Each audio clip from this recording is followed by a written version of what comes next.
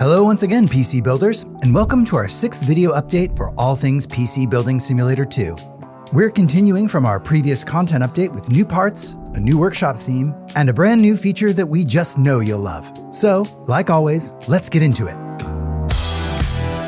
We've partnered with Maingear to officially bring you the Maingear MG1 case.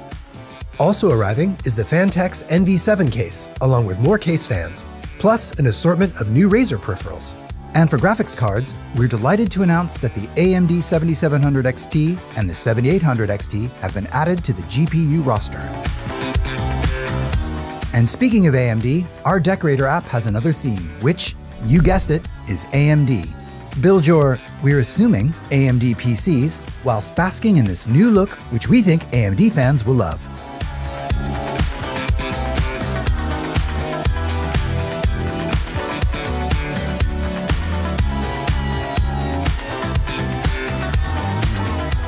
And finally, we're delighted to introduce yet another new feature into PC Building Simulator 2, Custom Main Menu PC.